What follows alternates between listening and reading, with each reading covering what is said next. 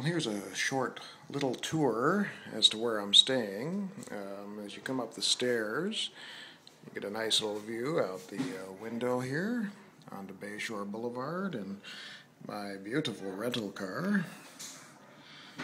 And then we come along this way and we enter my bedroom. Pardon the mess, but I am on vacation. Um, not the greatest wallpaper, but I can live with it. Uh, it's a nice little upper level bedroom.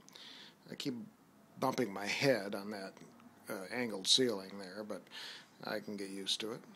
And then if you come this way, you will see that I have a little doorway, which leads to a balcony, which is quite excellent. Sitting out here at night when there's no traffic.